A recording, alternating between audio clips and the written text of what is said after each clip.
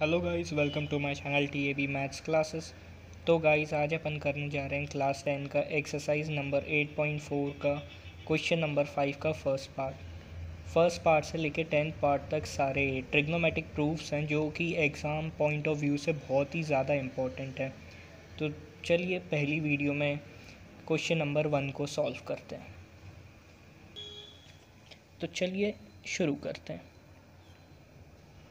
जैसा कि सबको पता है कॉसेक होता है वन बाय साइन और कॉट होता है कॉस बाय साइन ये होल स्क्वायर में तो यहाँ होल स्क्वायर लिख देंगे in place that decimal same है तो इससे कोई छेड़खानी नहीं करेंगे।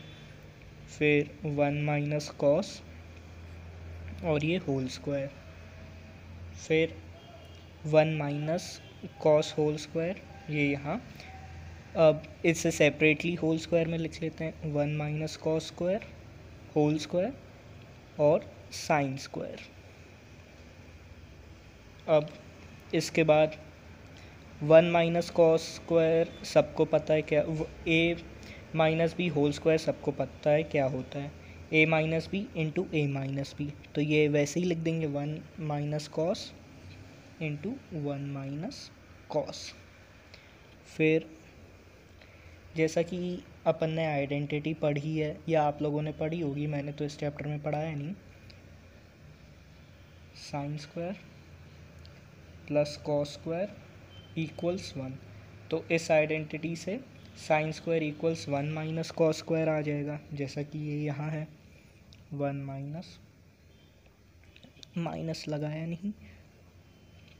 वन माइनस कॉस स्क्वायर अब A square minus B square की आइडेंटिटी आप लोगों ने पढ़ी है एट क्लास में। ये आप बहुत छोटी क्लासों से पढ़ कर आ रहे हो।